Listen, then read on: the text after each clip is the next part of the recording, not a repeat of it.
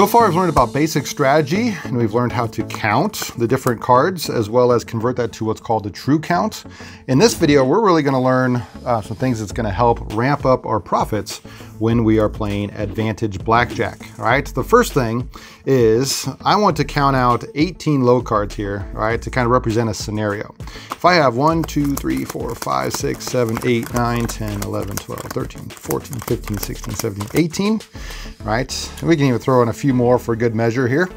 If I have a little bit more than 18, and that means that my running count is a little bit bigger than plus 18, and there's still six decks left to be played, right? That's not a deck yet. So I'm still having a total of six whole decks that I'm dividing by.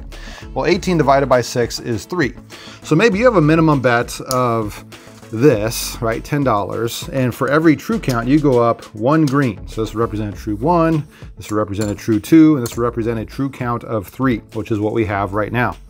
All right, the most important deviation, which is what this section is about, is when the dealer has an ace at a true count of three or higher in a shoe game like this. All right, if they have an ace up, you've probably heard it said before that insurance is a sucker's bet. And that is absolutely true unless you're a card counter. If you are a card counter, it is actually beneficial to take the insurance bet when there is a true count of plus three or higher. All right, to do that, I'm gonna get you a couple of two and a half chips here to show how to do this here because we need to take half of our initial bet. All right, so I mean, I need one green, two fives, and a 250 to represent half of the 75 there. You're gonna play up to half or exactly half of your bet on the insurance bar. When the dealer has an ace and the true count is plus three or higher, which we know it is right now because we were counting. All right, what we're doing here is we are betting that the dealer is going to get blackjack, all right? So you've probably seen them check in their little peeker. I don't have one of those, so I'm going to check. And yes, I do have blackjack. Because of that, you lose your initial bet. But remember, this pays two to one. Because of that, since this is half of your initial bet, you're going to get those two bets back. All right. And you really didn't lose any money at all. That is the most important deviation to know. The second most important deviation to know, I want to give you one more example here. But first off, remember, what did that do to my count? I know I had a few extra cards in there, but remember it was, let's say it's plus 18. Well, those two are going to cancel. This is a neutral card, so still 18, and this is going to drop it down to 17.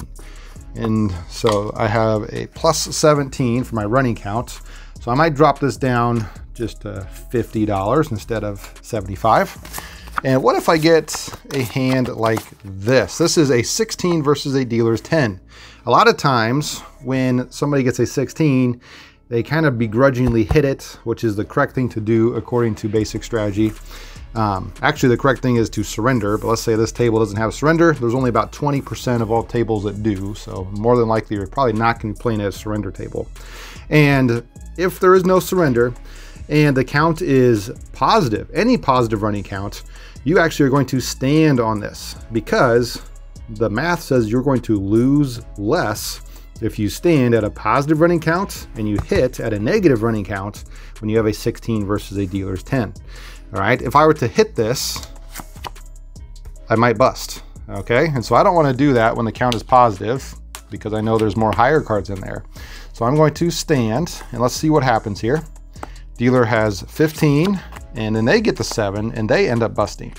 All right, so by playing with a little bit of strategy, using those deviations, you can win up to 20 to 25% more than if you didn't know those deviations. Now, well, does that happen every single time that you win like this?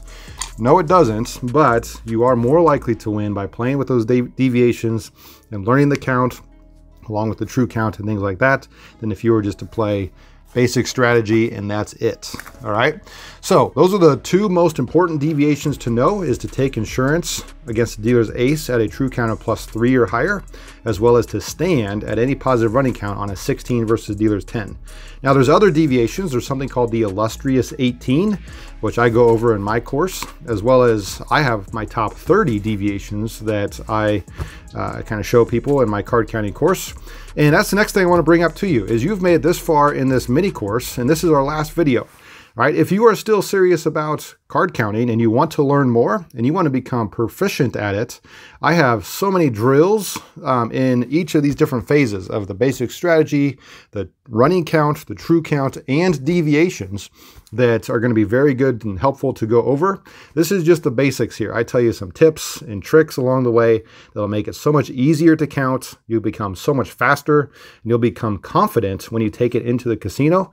And so if you're interested in purchasing my card counting course, that's going to be available in the description and the pinned comment of this video, as well as you might want to join my Patreon. I have recently restructured how I did my Patreon, and I'm going to be doing uh, some some counting videos that you can follow along with every single week on there at the different tiers available.